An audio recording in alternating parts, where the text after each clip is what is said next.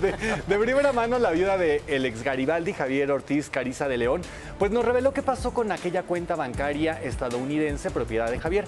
¿Acaso dejó dinero para su hijo?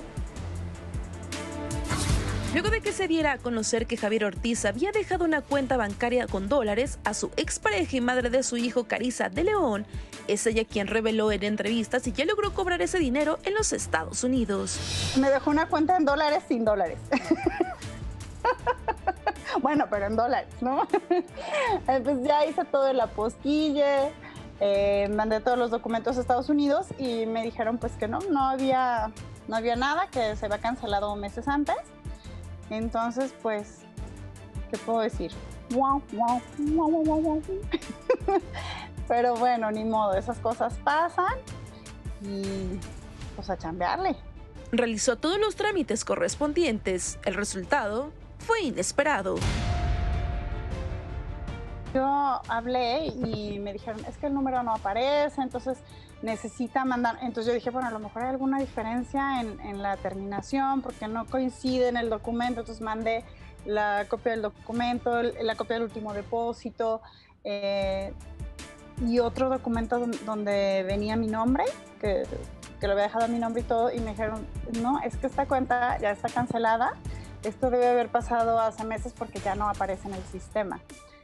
Entonces dije, bueno, pues ni modo, eso creo que es un proceso muy engorroso, eh, como para llevar en Estados Unidos que tendría que contratar a un abogado y todo. Dije, creo que no, porque lo más sano es ya dejarlo ir y pues ya veremos, la vida tiene muchas formas de, de que lo que le corresponde a Javi regrese de una u otra manera, ¿verdad? Ese dinero sería para su hijo Javi de 9 años de edad. Sin embargo, los planes cambiaron de manera radical. Pues sí, pero me queda claro que pues, cuando una persona está atravesando este proceso, ¿verdad? Ah, bueno, ahora como que lo entiendo más, pero pues no, no, no, no hay claridad a la hora de, de pensar ni de tomar decisiones. Entonces, bueno, pues, ni modo, ¿no? Pues, ¿qué, ¿qué se puede hacer?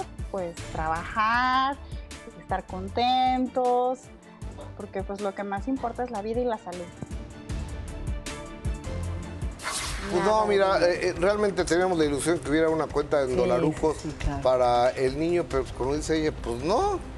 Sí, Pues el mismo lamentable, Javier ¿eh? estaba al final de sus días, estaba pasando por una crisis Sí, económica sí, muy fuerte. Mira, justo hay que recordar era- que, que días, unos días después, me parece que eh, unos tres días se iba a vivir con su hermana justamente porque ya tenía muy difícil situación económica, está viviendo en Guadalajara. Al grado de ya no poder tenía- pagar la casa donde estaba quedándose el cuartito. Por eso Sí, se iba a ir a casa de su hermana. Sí. Eso era de esperarse. Sí, lamentable. Pues sí, la Lamentable.